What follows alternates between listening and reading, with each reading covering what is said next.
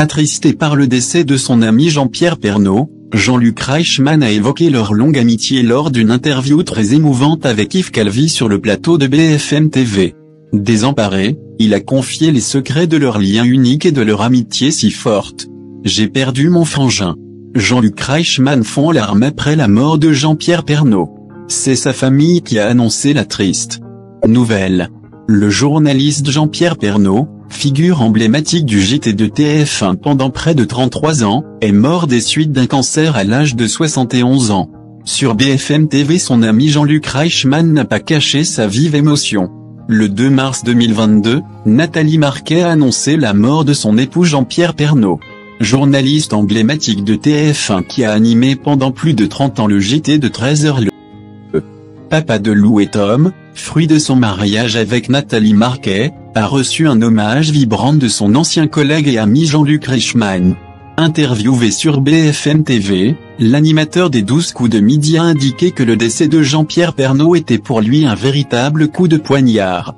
C'était un compagnon de route pendant plus de 20 ans.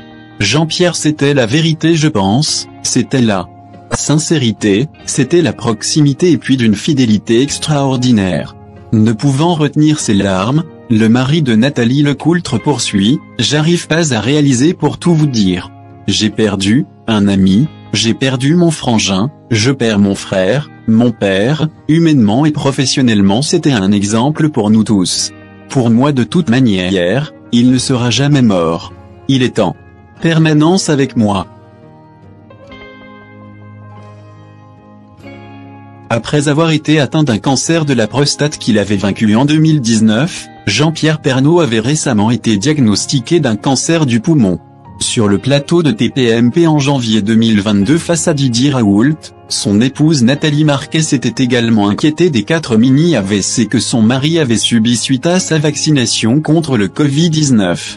Selon Isabelle, Morini Bosque, le journaliste n'aurait d'ailleurs pas été emporté par son cancer du poumon qu'il était semble-t-il en train de vaincre, mais plutôt par une détérioration générale de son état de santé.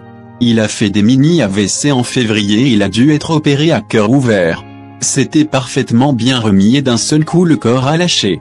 C'est incompréhensible, c'est une agression de tout son corps, a-t-elle expliqué mercredi sur le plateau de TPMP.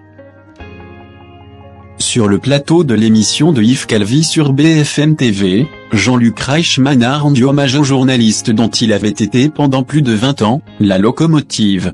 L'animateur des 12 coups de midi est apparu le visage marqué par un vif chagrin.